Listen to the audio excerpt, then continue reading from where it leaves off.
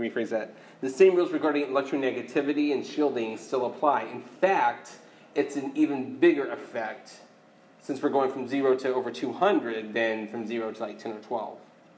Okay, but the units are still the same, it's delta and ppms or parts per million. That CDCl3 is just an internal control, you can ignore that one.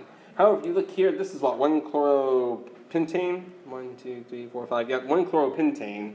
And you get an individual peak for each of the five carbons. Whereas if we had, if we did just pentane, well no, let's say, let's say, remember when, when I showed you the fatty acid had a lot of CH2 groups in the middle? With those proton, when a lot of times the ones in the middle kind of start to run together. You, you have problems seeing them. Unless you have a really, really, really strong magnet, you'll have problems differentiating them. C13, since it's a bigger spectrum, um, you can. You can differentiate them. So it's really, really robust at telling you the number of types of chemically non-equivalent carbons there are. Okay, so this one is easy because it tells you, oh look, there are five different carbons, and they do go in order in the sense that the one that touches the chlorine, oh wait a minute, I gotta change color it's in black. The one that touches the chlorine will be the furthest downfield. The one that's next to that one comes next, then C3, C4, and C5. This is C1, 2, 3, 4, and 5. So they really do separate out. So that's why it's, it's, it's fairly simple. In that sense, it tells you the total number of carbons that there are that are chemically unequivalent. Now, if we would have had something that looked like this, me show you. Oh, not what I was wanting to do.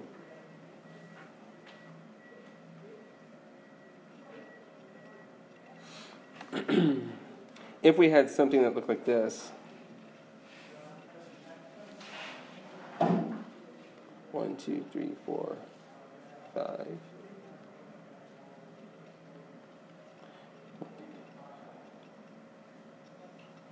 So now we have six carbons total. One, two, three, four, five, six. So this would be, you know, like one chloro, four methyl pentane. But how many different signals would we actually see on the C13 NMR?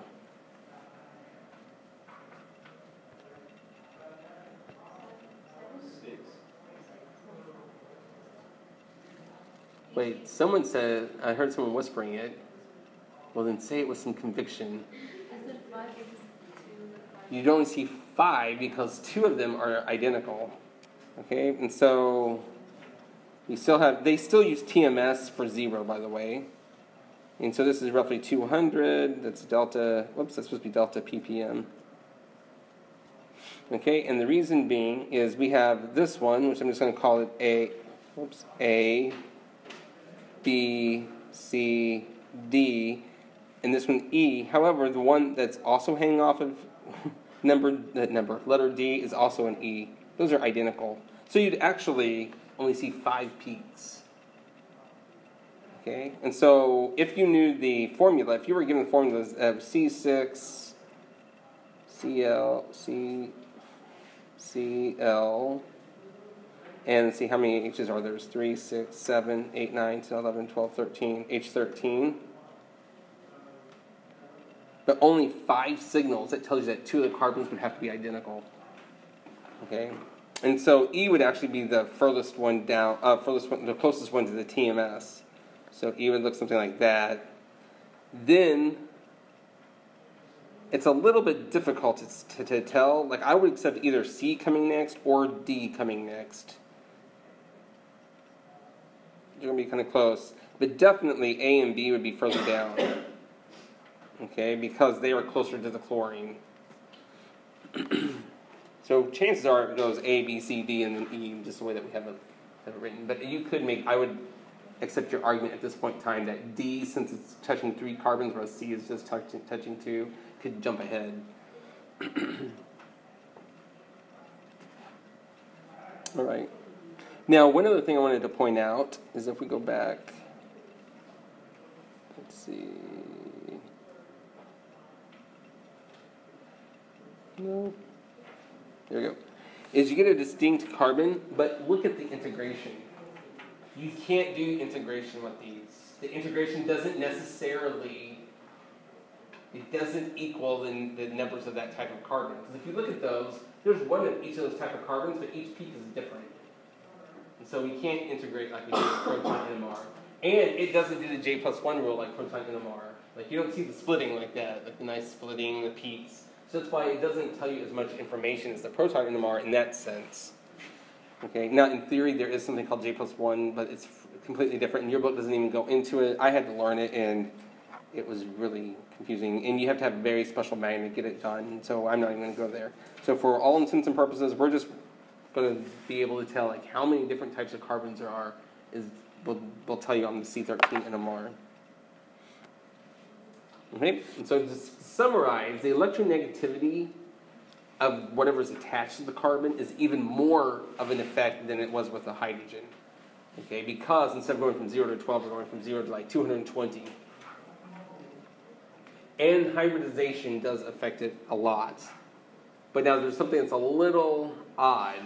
So the sp3, like the carbon that's only touching four other carbons, is going to be really close to the TMS. And the triple bond is going to be further down, but an actual an alkene is even further down a lot of times than a triple bond, especially if there's other carbons hanging off of it.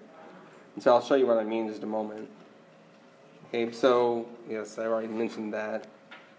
So don't memorize these numbers, but you would just I, did, I would just expect you to understand the rationale. So if a carbon only touches one other carbon, it's going to be really close to the TMS. If it touches two carbons or three carbons, it moves a little further down. Okay, because it gets a little bit more of the, the shielding removed.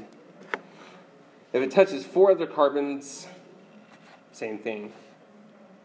Notice if it's an alkyne versus an alkene. This is a little, little diff, a, a, a little different. So the alkyne, yes, you have that triple bond, and it does push it further downfield.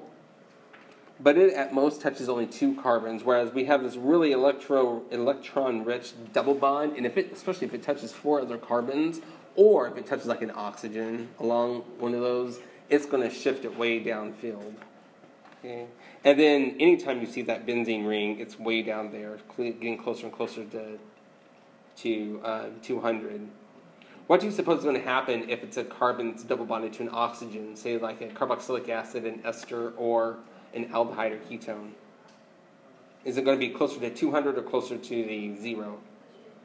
What, definitely. In fact, aldehydes and ketones, especially ketones, are way down there. That's where you can get like over 200 even.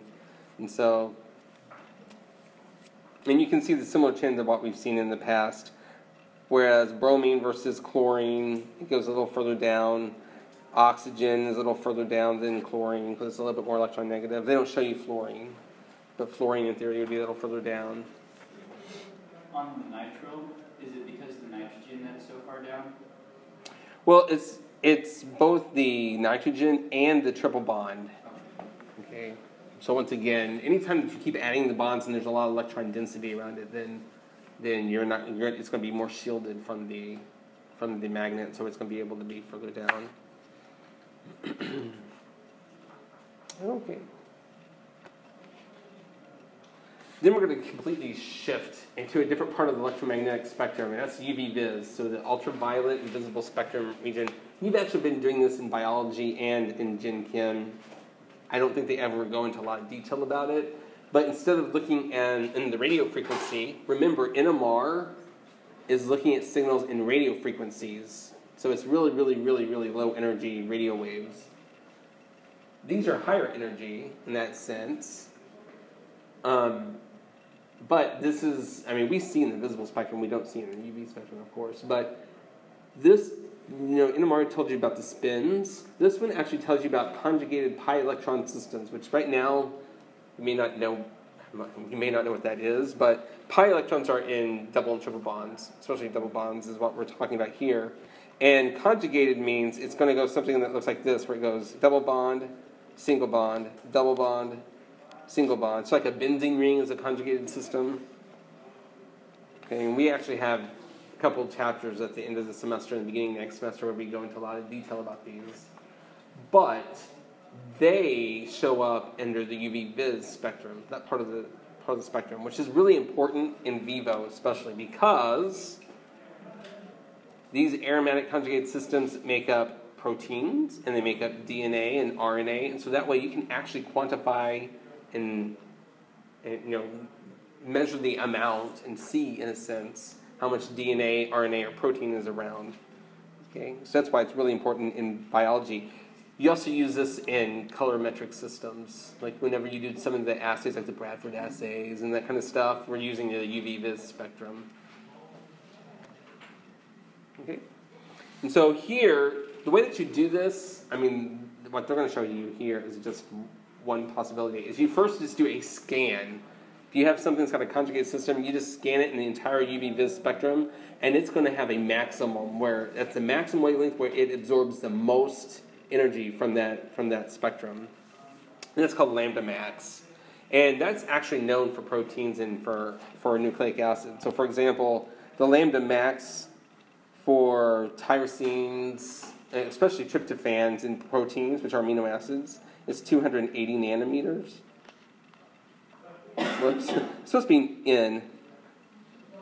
My good uh, stylus died. It, the end finally fell off. And so I got this out of my wife's purse. And it's a freebie that came from the teacher's exchange, but it's a pen that's a stylus also. And so the little part where the pen comes out gets stuck. So it's not the best, but it, it's free. So, but that's for proteins. And for nucleic acids, it's 260 nanometers. So DNA and RNA, you can quantify at 260 nanometers. That's how we actually determine how much DNA or RNA is in a sample and things like that. So we use this all the time in biochemistry and even in biology and things. you just said that 280 was an amino acid and 260 was DNA. Mm-hmm. DNA and RNA. Yeah, that's where that's where they're maximum. And I'll show you what it looks like in just a moment. But on the x-axis is the nanometers, and on the y-axis is going to be how much it gets absorbed by that system. And I apologize, that does not come through. So I'll draw. I'll try my best to draw it in. I didn't pick the color; it came with the stuff from the book. It looks like this. There we go. All right. And so this is one three 1,3-cyclooctadiene, which in vivo doesn't really. Man, I wish that they would have picked you know DNA or RNA or something that that way it's more biologically relevant. I don't know what happened to the axes either. Let me do a different color for the axes.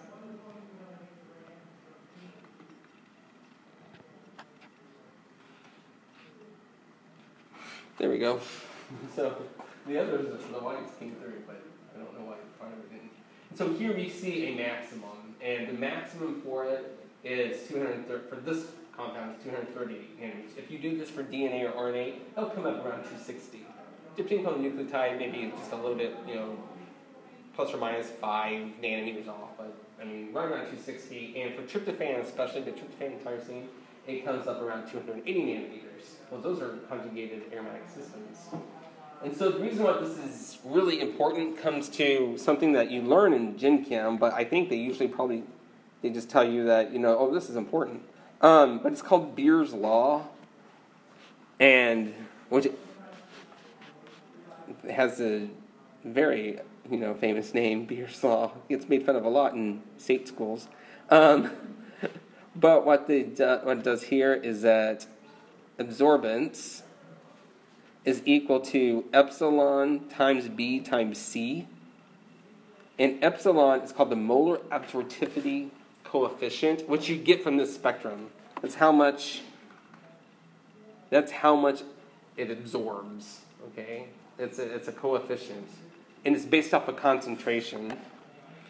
B is called the path length. It's the length that we, that's when, if you remember from Gen Chem, you probably use like the big Spec 20s where you have to pour it in the big old cuvettes that are like this big, and you pour a whole bunch in there, and a lot of times it was colored. And you'd stick it in the machine, and you see the little needle go up and down, up and down, you know, for absor- absorptivity. So it was the path length of that cuvette, which is you know one centimeter a lot of times for those spec 20s. And C is concentration, because if you add more in your sample, you're going to get more abs- absorption. So the reason why this is such a powerful technique is as long as you know the absorptivity coefficient, you can figure out how much you have in your sample based off of its absorption. And so that's why we use it all the time for determining how much DNA or RNA is present or how much protein is present based off of its composition. And so that's all that I was going to, I'm not going to go into a lot more detail, and we won't cover mass spec just because of time. Okay. So that's